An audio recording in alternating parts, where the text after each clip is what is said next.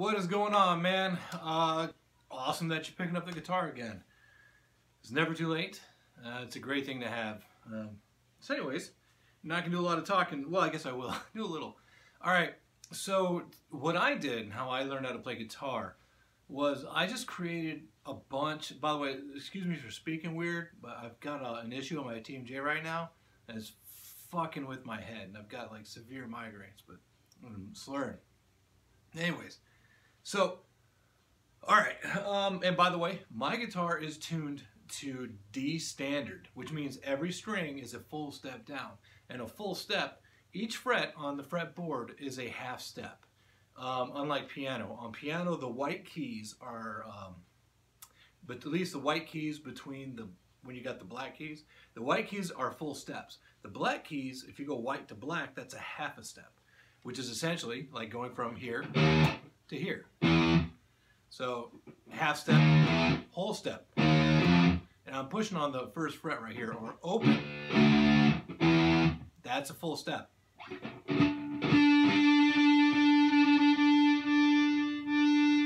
Anyways, like I said, I'm in D standard, which is a whole step down from E standard, which is your normal tuning you're to find maybe not so much modern music, but old Metallica, if you're going to play along to some old Metallica or old Megadeth, uh, typically it's an E standard.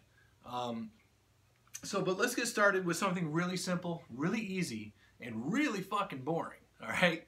Um, you don't even need an amp to do this. It might be better if you don't. Uh, so, it, it's, uh, it's just walking up the fretboard using your four fingers. Now, if you're a little uncomfortable, look, um, and something I do different that a lot of guys don't do is I put the guitar on this leg. I keep the guitar in front of me as if I'm playing, as if I'm standing. Because I'm doing this to play music and go to play shows.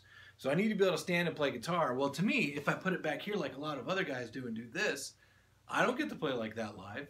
So for me, the guitar goes right here and it goes in front of me. So, anyways, what I was saying. And when you're trying to get comfortable on your grip on the guitar, the best thing I can tell you is to do a number four, like this. Um, possibly even pick up a remote controller. Just pick up your iPhone. Well, wait, wait. there's my iPhone. I'm recording with it. Um, just something stupid, man. Uh, I got nothing really stupid around here. Well, I guess I do. Lots of stupid stuff. Uh, I mean, literally, here you go. A level. A friggin' a level and a stud finder. Can you do If you can pick it up and hold it like this, that's all you got to do to hold a guitar. And a lot of guys get really uncomfortable and they're mm-hmm. really trying to force and really get under it like this and they struggle. So, but to get all this started, once you're comfortable and your fingers should line up a little bit like this, you really want to get them to spread one, two, three, four. So you want them to go across the first four frets of your guitar just for access and ease of use. All right, so the, the exercise, simple as hell, but the, the catch is you want each note to be good.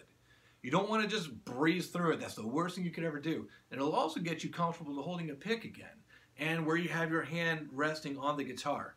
So, and it'll get your right and left hands talking to each other. And if you play to a metronome, which you can download one on your phone for free, that's what I did, uh, it kind of helps you along. You can start at like 20 beats per minute, something really slow, and play quarter notes, which is four notes per click. Well, one, two, three, four, one, you know, like that. So the exercise is literally just this.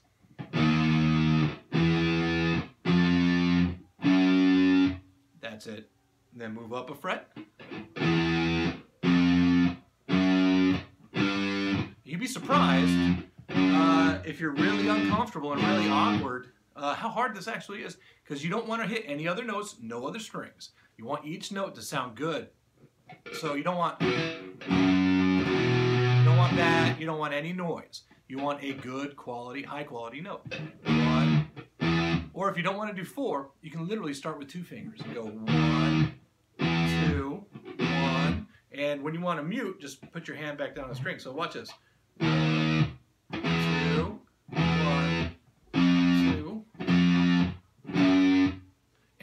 Also to mute, if you release just lightly on the left hand, so your hand hands are like just kind of sitting on the strings without pushing them down, that'll also work in your advantage later because you get your palm muting and your left hand muting working together. Uh, it gives you more dynamics in your playing. So, so one,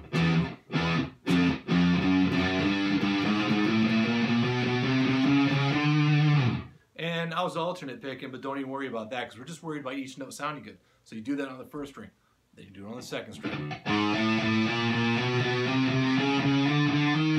See, now the trick though is that um, when you get to the second string and the third string, you can do it on all of them. You're going to go up to the 12th or as high as you want. How, however, you're wherever you find your least bit of comfortable, that's where you need to be. Whatever sucks the worst is what you need to be doing. So you're going to do that on all the strings work your way up and down the fretboard. And then the other thing though is after you get done doing that, go backwards. So you can start here on the 12th and go 12, 11, like.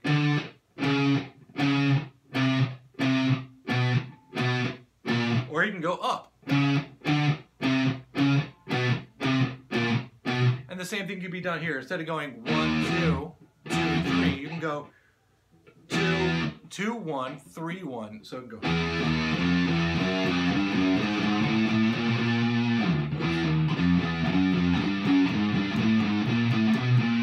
That's actually kind of hard.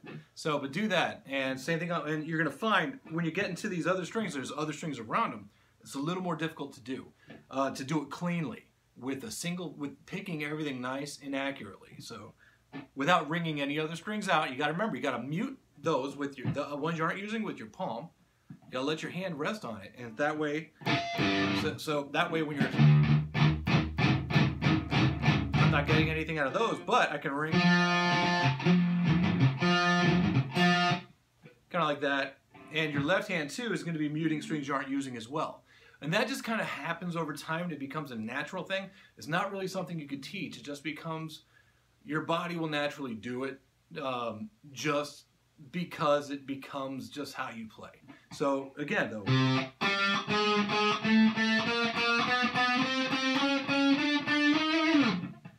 And the other one, you know, so we did one, two, so you can go. Or you can go one, two, one, two, one, two.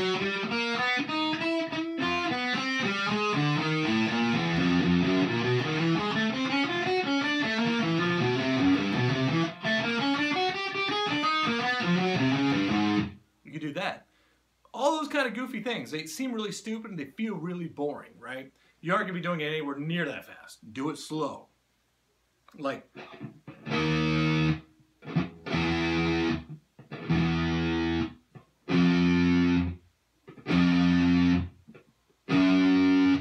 make them all sound good. That's that's the most important thing. Speed is not important. Quality is, is, key to each one to sound good. So there's your there's a quick little lesson. It's boring as shit. Um, practice that until you start getting a little bit more comfortable. Um, you're gonna want to do it for about just five to ten minutes before you start doing other exercises. It's a, it's a good warm up even now for me, and I've been playing for 24 years. I can still run through these and I'm way better doing everything else if I burn through these first. It takes me about five minutes to burn through all of them. I mean, like literally just, you know.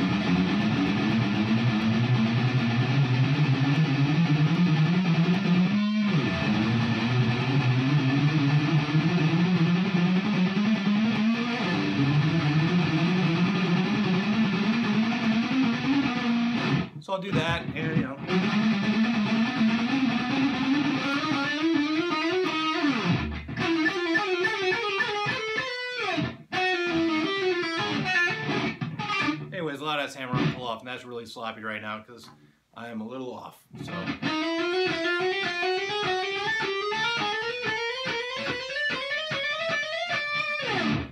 Yeah, I probably need to exercise and probably need to do these. So, anyways, those should get you started, and then I can teach you. Uh, you do that five to ten minutes a day, uh, however long it takes. But don't get don't kill yourself. As soon as it starts, your hands don't want to go where you're telling them to anymore. Stop. Uh, even if it's only two and a half, three minutes in, you haven't gotten through two strings, go ahead and stop. Take 30 minutes if you got that kind of time and come back to it later. Or come back to it the next day. But don't sit there and burn yourself out. Uh, it's the worst thing you could do. Um, and I'll, I'll, make you a video of uh, simple chords um, that you can that's going to teach you how to play, you know, you know, just straight up chords, because um, that gets you working on your fingers being arched and addressing these strings individually and letting the, some ring open and some of them uh, be, be fretted and some of them be muted. Um, it's really important. And it also just builds that dexterity up um, just to practice those chords. And the technique will come with it. It has to. There's no other way for it to happen. It, you'll you'll naturally build technique just by doing this stuff. Um, yeah, and it'll be secondary. And then you can then you can start grabbing onto them YouTube videos where people start doing insane shit. So, anyways, man, cheers. Glad I could help. Um, and I hope this does help. It might seem boring, dude, but it's totally worth it. It will, it'll get your playing up to speed faster than anything else. Um, and if you could tie theory in with it, uh, that'll help get your playing for, further, which is what I'm doing right now. I'm taking lessons for theory. So I can't really teach you that. Um, yeah, it's definitely worth it. But this will get you off the ground and get you started and get you comfortable so that you are comfortable with the fretboard and comfortable. Your ear will start finding notes. You're like, ooh, I like that over there. Oh, look, I found this here, here, and here. And things will just start clicking the more you do it. And 15 minutes a day, 30 minutes a day, if you got that kind of time, and just keep doing it. All right, man. Good luck.